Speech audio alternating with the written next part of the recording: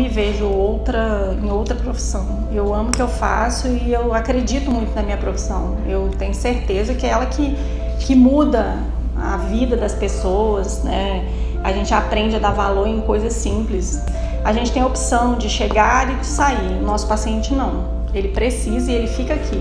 Né? Então, às vezes, a última palavra, o último olhar, o último carinho é sempre, às vezes, a gente que dá. Então, quando a gente está lá dentro, a gente tem que ser do paciente, tem que se doar mesmo, de verdade. É, eu salvo vidas. A fisioterapia salva vidas.